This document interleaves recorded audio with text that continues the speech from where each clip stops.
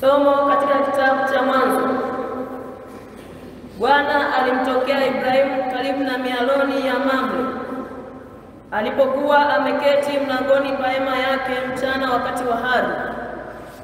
Akainua macho, akainua macho yake akaona, na tazama, watu watatu wamesimama mbele yake, naye alipowaona alipiga mbio kuwalaki kutoka mlangoni pa hema akainama mpaka nchi, akasema, Bwana wangu, kama nimeona fadhili machoni pako, na kuomba usinipite sasa, mimi mtumwa wako, na yaletwe basi maji kidogo, mkanawe miguu, mkapumzike chini ya mti huu, nami nitaleta chakula kidogo, mkaburudishe moyo, baadaye mwendelee.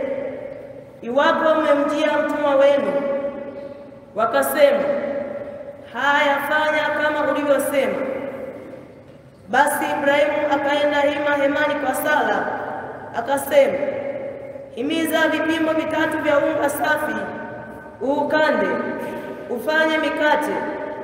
Ibrahimu akapiga mbio kwenda kundini, akaleta ndama wa ng'ombe, ndama wa ng'ombe aliye laini mzuri, akampa mtumishi naye akaimiza kuiandaa. Akatwaa siagi na maziwa na ndama aliyoiandaa, akawaandikia mbele yao, akasimama karibu nao chini ya mti, nao wakala. Wakamwambia, yu wapi Sala mkeo? Akasema, yumo hemani. Akamwambia, Hakika nitakurudia wakati huu mwakani, natazama tazama, Sara mkeo atapata mwana wa kiume. Neno la Bwana.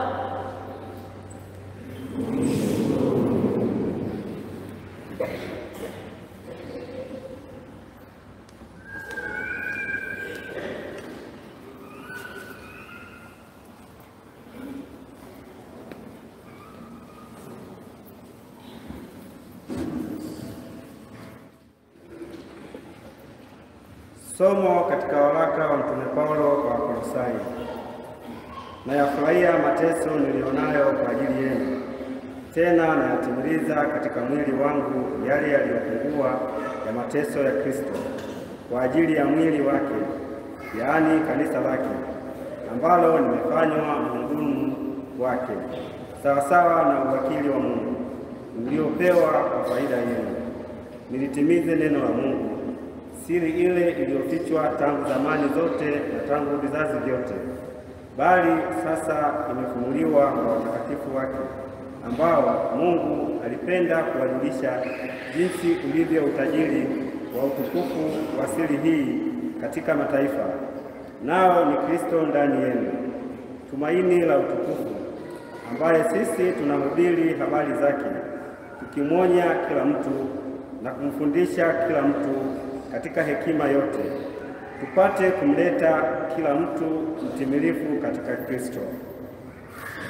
Neno la Bwana. Injili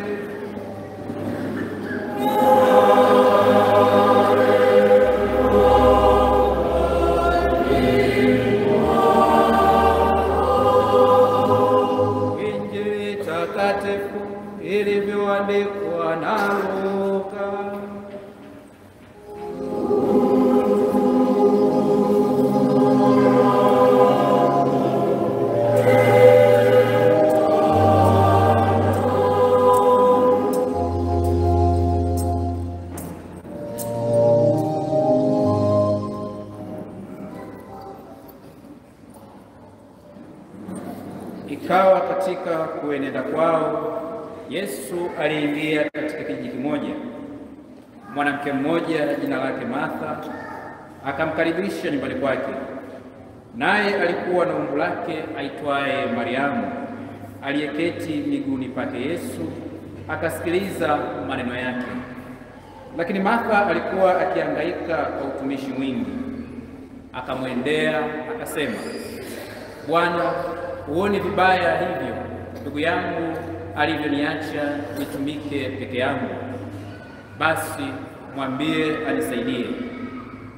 Bwana akajibu akamwambia, Martha, Martha, unasumbuka na kufadhaika kwa ajili ya vitu vingi, lakini kinatakiwa kitu kimoja tu, na Mariamu amelichagua fungu lililo jema, ambalo halitaondolewa. Nenola Bana